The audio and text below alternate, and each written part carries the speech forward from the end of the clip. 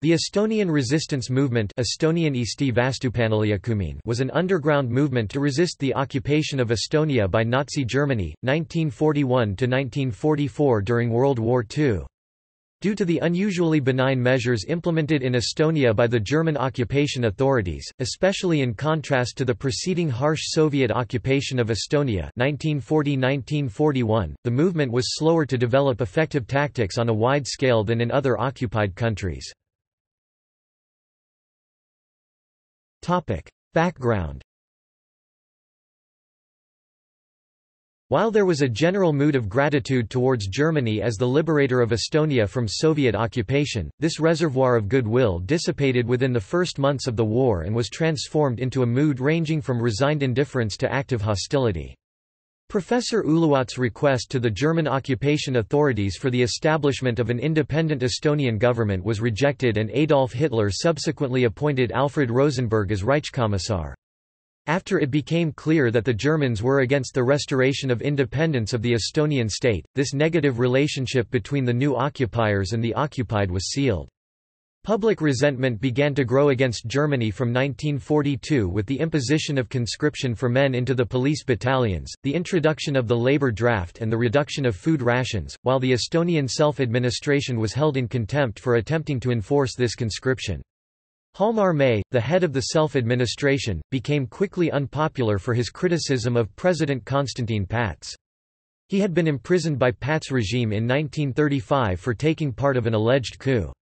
Germans offered his position several times to Jüri Uluots, who refused. The Estonian people regarded German occupation with greater bitterness than the previous 1917–1918 German occupation and were repelled by the implementation of the German race laws and the insouciant exploitation of the country's natural resources.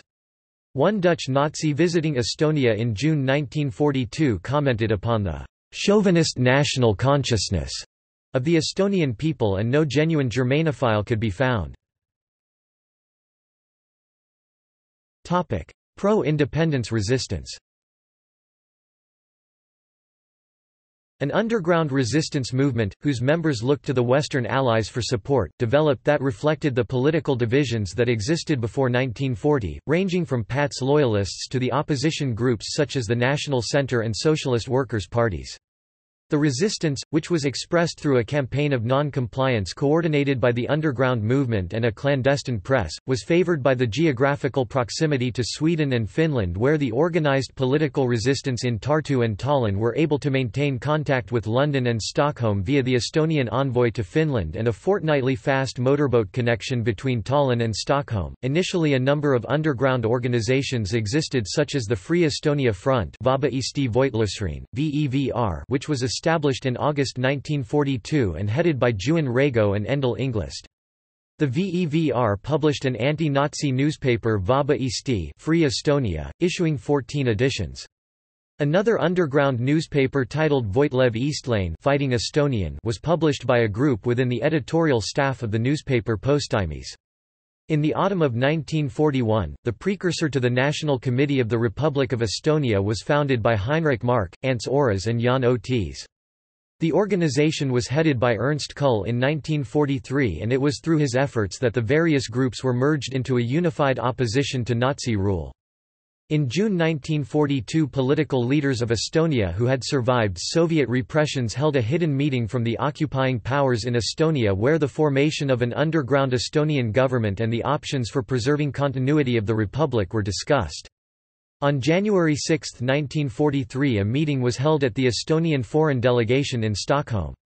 It was decided that, in order to preserve the legal continuity of the Republic of Estonia, the last constitutional Prime Minister, Jüri Uluots, must continue to fulfill his responsibilities as Prime Minister. The movement subsequently formed the National Committee of the Republic of Estonia Estonian, Eesti Vabariigi in March 1944. The original initiative to form the committee came from the Estonian pre-war opposition parties but it was quickly joined by Jüri Uluots, the last constitutional pre-war Prime Minister of the Republic of Estonia and his supporters. The committee aimed to establish a provisional government during expected German withdrawal as the Red Army had reached the border of Estonia on 2 February 1944. By April 1944 a large number of the committee members were arrested by the German security agencies. While some 200 people were arrested, the leaders of the resistance movement escaped arrest however their activities were severely curtailed until mid-June. In June 1944 the Electors' Assembly of the Republic of Estonia gathered in secrecy from the occupying powers in Tallinn and appointed Jüri Uluots as the Prime Minister with the responsibilities of the President. On 21 June 1944 Jüri Uluots appointed Otto Tief as Deputy Prime Minister.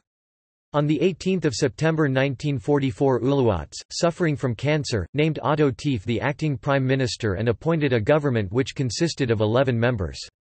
Tief assumed office in accordance with the constitution and took the opportunity with the departure of the Germans to declare the legitimate Estonian government restored. The Estonian national government was proclaimed in Estonia, the Estonian military units seized the government buildings in Toompea and ordered the German forces to leave. The flag of Germany was replaced with the Estonian tricolour in the Pikk Hermann, the flag tower of the seat of the government. Tief's government failed to keep control, attempting to organize the defense of the capital city against the advancing Red Army making use of the men who had fought in the Finnish Infantry Regiment 200 and a military unit organized by Johan Pitka. The Germans overran the headquarters of Admiral Pitka in Tallinn and it is presumed he was subsequently killed in the ensuing battle. Most of the members and officials were caught, jailed, deported, or executed by the advancing Soviets. Pro-Soviet resistance A small number of Estonians were involved in underground resistance during World War II ranging from producing illegal publications, to espionage, to violent sabotage. They included Rein Alasoo, Evald Laasi, Georgi Loik, Alexander Loring, as well as others.